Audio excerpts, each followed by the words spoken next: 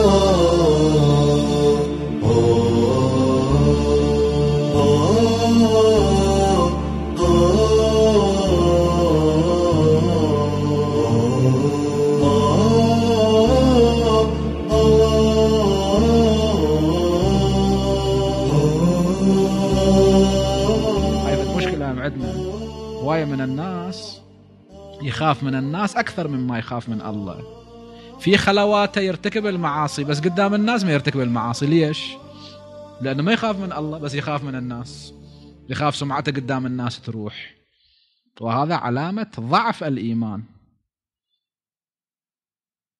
والمؤمن الحقيقي المؤمن الذي سر وعلانيته واحد. كما لا يرتكب المعصية في العلانية كذلك لا يرتكب المعصية في السر. إذا واحد صار سره وعلانيته واحدة هذا مؤمن. وإذا صار سره أحسن من علانيته فهذا بعد درجة إيمانه أكثر. يصلي صلوات المستحبة بالبيت مثلا قدام الناس ما يصليها. يعني المستحب أن النوافل الإنسان يصليها بالبيت والفرائض يصليها بالمسجد قدام الناس يعني. أما النوافل المستحبات بالبيت ونستجير بالله إذا واحد ظاهرة صار أحسن من باطنه.